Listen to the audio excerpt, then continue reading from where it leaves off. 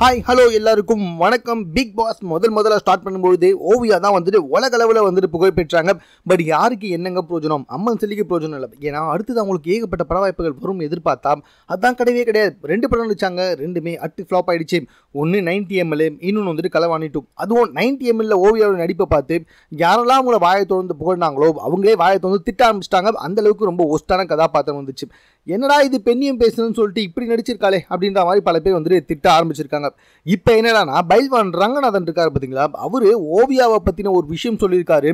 ஒஸ்ட்னா worst அப்படி ஒரு ஒஸ்ட்டுங்க இவர் சொன்னது உண்மையாக பொய்யானான்னு தெரியாது. ஆனால் ஓவியாவை பற்றி எதுக்காக இவ்வளோ ஓப்பனாக பேசினாரு அப்படின்றது சுத்தமாக தெரியவே இல்லை.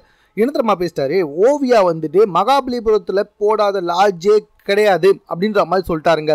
அது மட்டும் இல்லை தமிழ் சினிமாவில் வந்துட்டு அட்ஜஸ்ட்மெண்ட் அப்படின்றது ஒன்று இருந்து வந்துக்கிட்டு தான் இருக்குது ஒரு நடிகை வந்துட்டு சினிமா வாய்ப்புக்காக அட்ஜஸ்ட்மெண்ட்டாக இருக்கலாம். ஆனால் அட்ஜஸ்ட்மெண்ட் பண்ணுறதையே தொழிலாக வச்சுருந்தா எப்படி?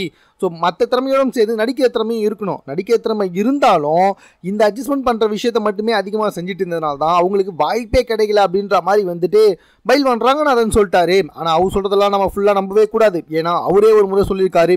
நான் வந்துட்டு ஒரு விஷயத்த சுவாரஸ்யமாக சொல்கிறதுக்காக அதில் நாற்பது ஐம்பது சதவீதம் வந்துட்டு பொய்யவும் சேர்த்து சொல்வேன் அப்படின்ற மாதிரி வந்துட்டு சொல்லியிருக்காரு. ஸோ ஒருவேளை இது வந்துட்டு பொய்யாகவும் இருக்கலாம். ஆனால் இது வந்துட்டு ஓவியா கண்ணுக்கு போகாதுன்னு நினச்சிட்டார் போல. அந்த இடத்துல தான் அவர் பண்ணது மிகப்பெரிய தவறு.